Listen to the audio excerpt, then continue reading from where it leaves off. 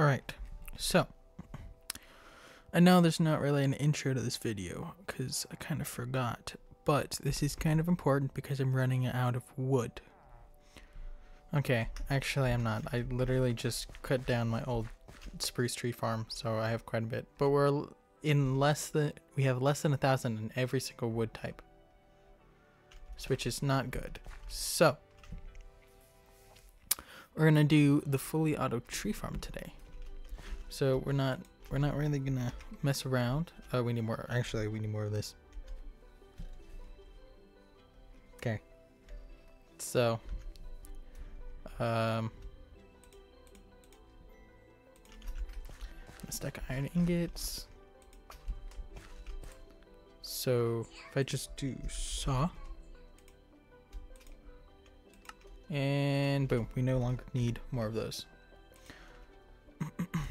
so here's my plan.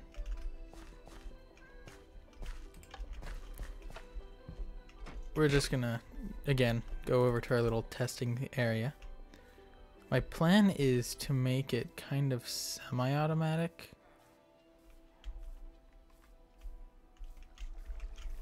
Or not semi, no, fully, fully automatic, but like not rotational wise and stuff. So it's a lot less moving parts, I guess. Stop it. Stop being farmland. I've I haven't been over in this area in a while. This is from when I did my planting thing. It's because those are source blocks. Anyways. So here's my plan. So we're gonna have like the whoop, the four wide trees, so like spruce, jungle, dark oak. And then we need more hands. Where are our hands? We don't have any hands? We're out of hands.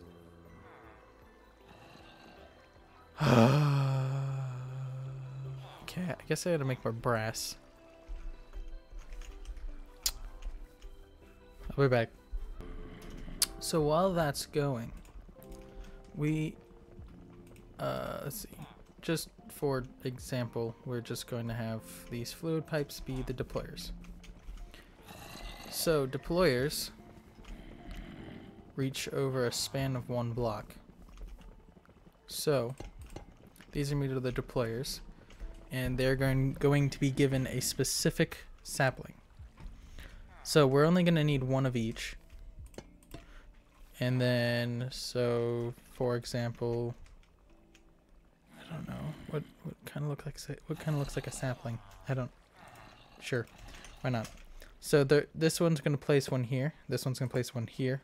This one, uh, I, uh, so on and so forth. So this is a giant spruce tree. Just just imagine.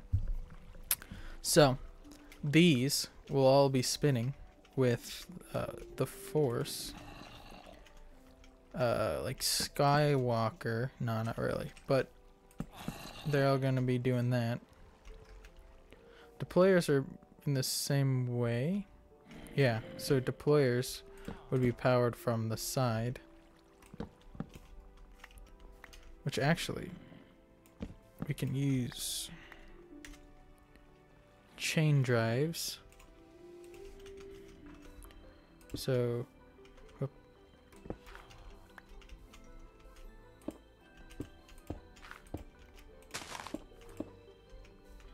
That way everything moves the same way. So basically you spin this one and they all spin. They all spin the same way. So it's basically like that, the the belt, but now it's a block. So this will do the exact same thing that that one does. Does. And then it'll cut down the tree I don't know how it will work when it comes to like actually harvesting the tree. So let's uh let me go get a um don't that's a failed part. Uh a sapling. Alright, so pretend this just placed that tree there and there's four of them and then when it grows this is a four wide four by four spruce thing. Um, how are we gonna get power here?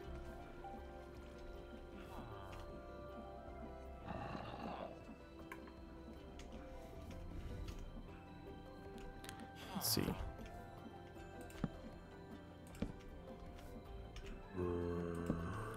Doesn't actually matter which way it spins.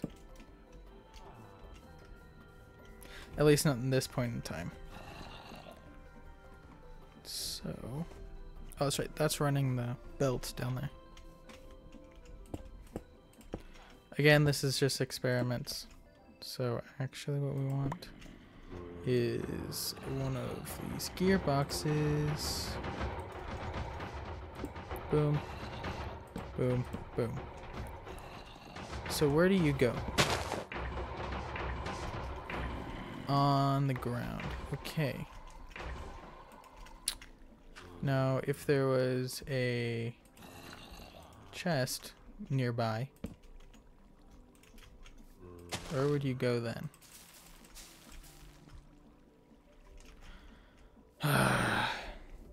I just stole some from the machine. Now where would you go? Still on the ground. Okay. Just curious. Okay. So now, hmm. Maybe this is why it's always a mechanical contraption. Let me figure this out. Okay, I figured it out. Figured it out, figured it out, figured it out. Um, we're going to use a mechanical piston. Which I don't actually, I don't think I've actually made one of those yet. And it should be alright because as long as I get it kind of... You know what, we'll, we'll just show you. We, I will. No one else is here. I have no friends on this world. So, basically, a mechanical piston works like a regular piston, except for you can extend it however long you want. So, in theory, uh, if I get those to grow, which I actually forgot the bone meal, Alright, so I just screwed. It doesn't really matter. So a mechanical piston works kind of like this. I think. Do I not understand it? Hmm. I think it's going the wrong way.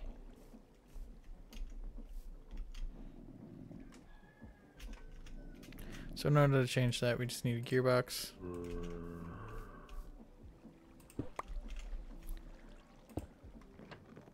Yeah.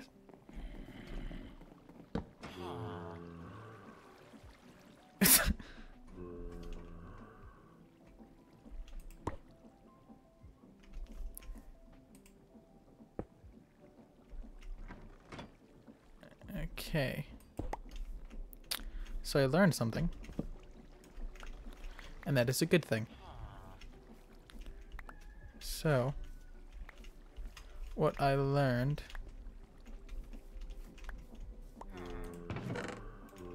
is that this pushes wood out of the way. Which is news to me. So I put the storage interface there with the chest behind it. I move the storage interface here.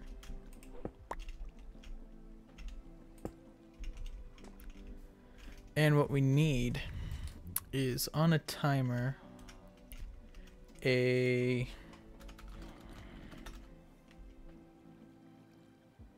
Not a bearing. Uh, maybe it is bearing. No, it's a crafter. Hold on. Hold on. Hold on. So what we need is a sequenced gear shift. So we're going to need one for each uh, wood type.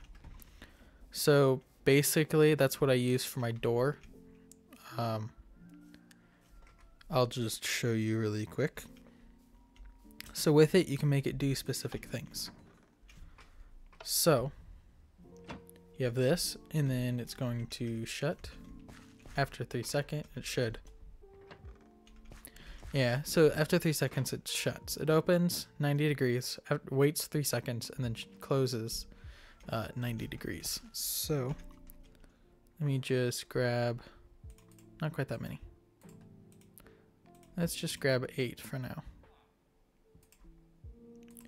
Eight seems like a good number. Uh, and then eight of these small little cogwheely guys. All right, and we just shove them in a crafting table. So, now if we go back, again, here's that opening. One, two, three, close. I wait a little bit because it wasn't fully closed. When you hear that clink, that means it's closed. Or the clunk, actually, I guess is what it is. So basically, this allows you to go like this. Um, so you right click it, it's going to turn.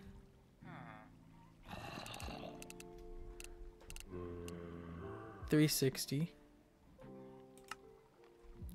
It is going to wait, and then it is going to turn the other way 360 degrees. So, and then when you power it with something I don't have, can I make a button out of this? Button, button, copper, button. No, okay. Um, hmm. what can I use to give a redstone signal? Nothing. Gosh dang it. All right, so maybe I should grow this again just as a proof of concept. Um,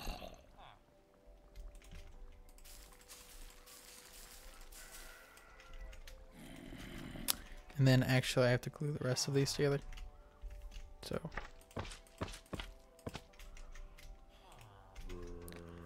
Alright.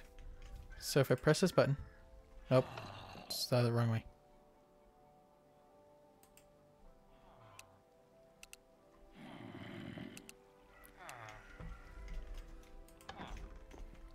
Okay. Okay,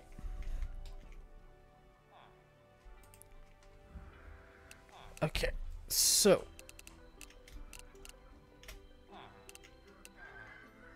Let's see. We're going to get the timings figured out.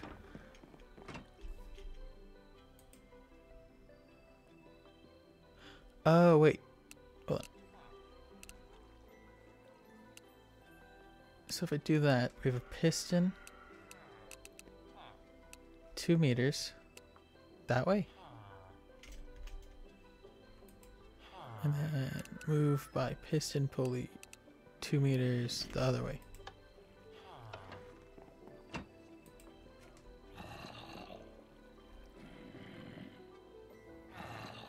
Hmm. Okay, so turn these back around. Let's do five meters. Let's see here what five meters is. Not long enough. So let's do 15. See how that works. So 15 is triple the length of time it was. Which means it should be able to grab this. Yeah, okay, so 15 is good for 2x2s. And then 5 is good for the rest. Uh, now that I'm thinking about this, we actually don't need this portable interface. We honestly probably just need like that and then a chute into the storage system. So, goes out, waits for, for 50, or pushes it 15 meters, I guess? I don't know. So basically, this is, I'm gonna, I'm gonna actually do the actual work off camera. Even though, yeah, I don't know. You guys want to see it off camera? I don't know. So here's my thing. So we do that, which means it's probably seven me. Oh, uh, that threw my mouse off the desk. Okay, so that is good for two.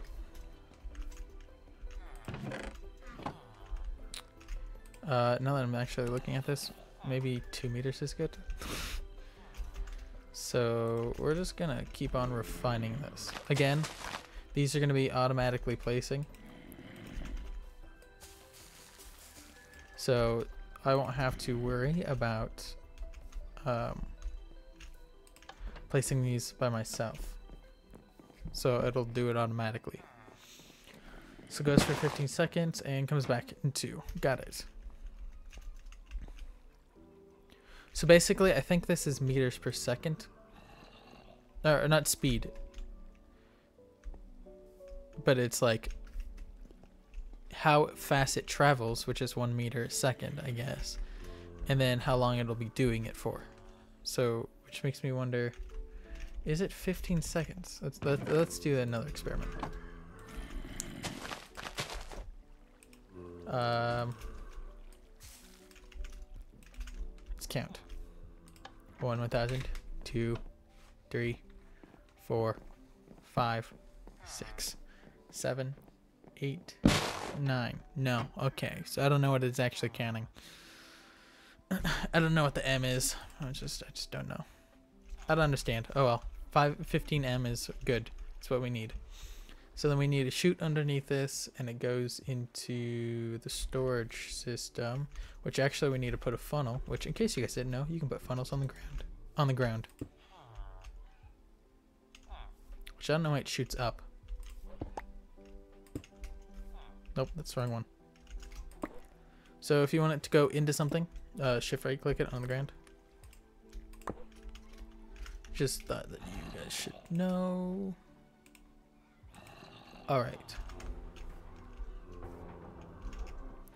Um, by the way, this is how I've been making my brass. Because apparently hoppers don't like working.